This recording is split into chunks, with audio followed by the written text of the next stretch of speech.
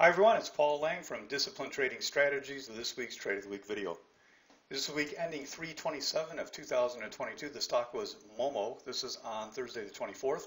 This is based on a Tier 3 gap entry on a 2-minute retest and failure secondary sign of strength entry. The management advance rewards risk 2.6 to 1. Before we get started analyzing this trade, Monday night is the biweekly scanning night. That's the event for free members of DTS this week. Come by and join us.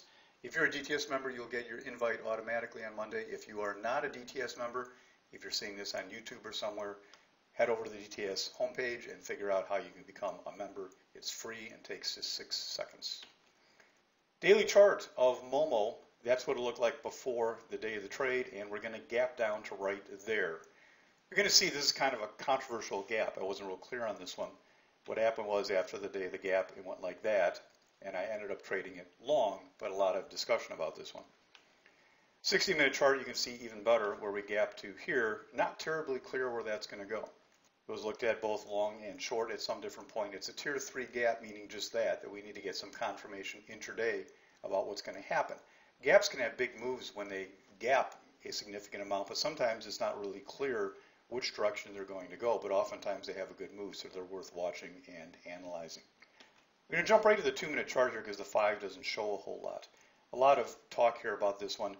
I was not having this on the screen at open. I felt I wasn't confident enough to take it short out of the open. As it turned out, you could have made some money here. I had it on the screen and looked at it here at a quarter to 10 or whatever time that was. And I mentioned to the room that that could be okay short, but I wasn't going to do it, I decided.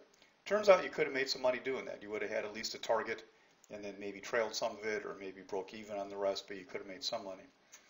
But as I continued to watch it, we came down to this bottom right here. I ended up deciding that this would end up being a great long. As time went on and we, we had this hard red bar out of the open, they had immediately reversed 100%. And then as we started to hold this low, I liked it long. Now, I was willing to miss this, but I'll show you on the next chart how it gave me just an entry I kind of couldn't really refuse.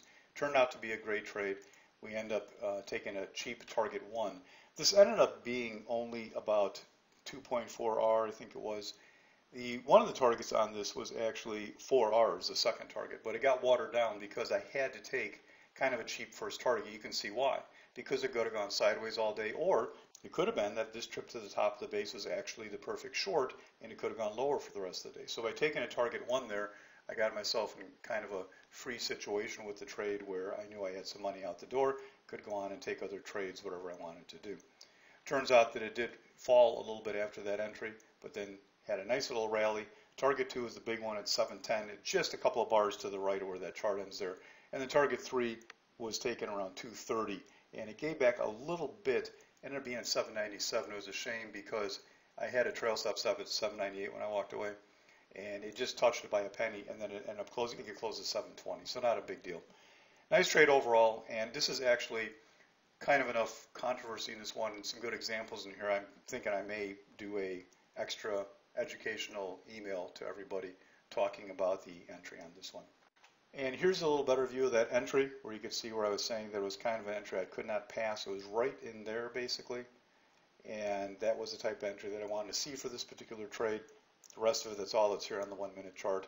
It's still before 10 o'clock at that time. The entry actually came just, uh, I think, just before 10.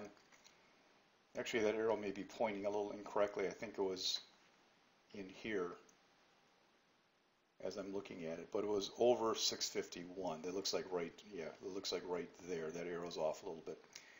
Great entry right there. Hard to pass that if you like to trade long in that particular case. Target 1, you can see on the retest, the high actually got trailed out a little bit under that, and target 2 and target 3 off the chart on this one-minute chart.